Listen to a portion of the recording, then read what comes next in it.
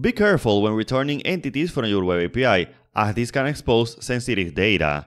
The typical solution to this is to use DTOs. DTOs or data transfer objects are simple objects that are used to transport data between the web API and the client. The idea is to avoid exposing our internal models and only expose what the client needs. This is convenient for several reasons. The first one is information security. You don't expose information you don't want to expose, but also efficiency, because the less data you move around, the faster the application is. Let's look at a simple example.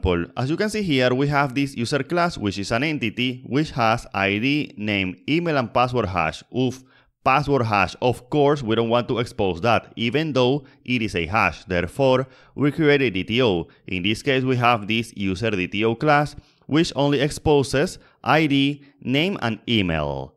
Then we create some mapping logic. For example, we can put it in this class user mapping to DTO, we receive a user and we return a user DTO. Now in a controller we can do the following. We can say that we have a list of users. Of course we're going to pretend that this comes from a database and then we do user select, we map to DTO and then we do a to list and return the list of user DTOs and therefore we're being efficient and also we're protecting the password hash of the user. If you want to learn more about building applications using ASP.NET Core and clean architecture, buy my course today. More details in the description of this video. Thank you.